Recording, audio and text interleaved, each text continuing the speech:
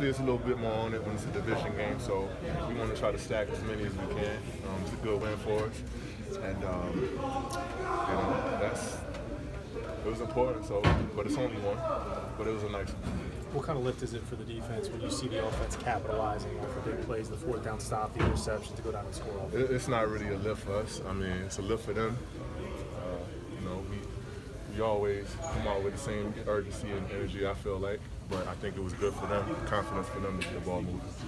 What's kind of the game plan against them? I know their offense, uh, people said it isn't as explosive as it was last year, but still pretty good. The game plan, what was it? Uh, first and foremost, we want to stop the run.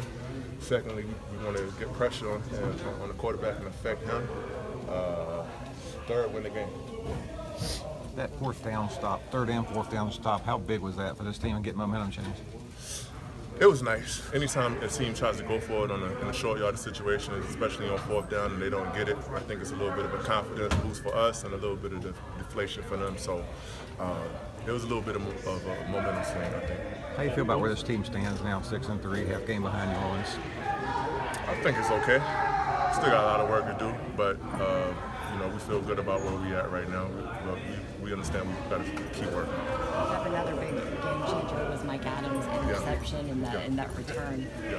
What can what does the momentum do for the team when that's something like We that? just make plays. You know, we, we've been lacking in that department a little bit. Talking about the turnover department, so it, it, it's nice to see those guys get going. Um, it was a huge play in the game for us because we got points out of that right before the half. Piggybacking on that, do, how important to, I guess, the superiority of the defense is it to have those turnovers? Do you measure the success of the defense just based off of how many turnovers you're able to get? Not necessarily. We, we, we do want to win the turnover battle, but um, that's only a part of it. There's other things that go into it. Uh, we we want to we want to limit the rushing attack is, is the main priority, and everything else after that. But it, it's nice to have it to have the turnovers.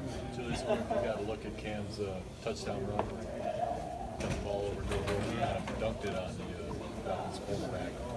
So what are your thoughts on that play? I thought it was nice. Um, I thought it was a good play. I, I was excited about it. One of the last plays on defense, I think we were back pretty